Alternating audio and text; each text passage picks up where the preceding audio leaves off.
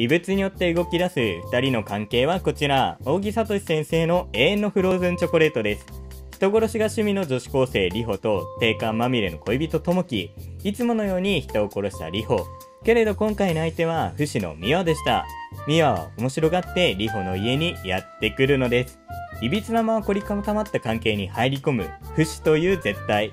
鋭く冷たい文章の中で炙り出されていく思い。タイトルが強烈です。ぜひお読みくださいませ。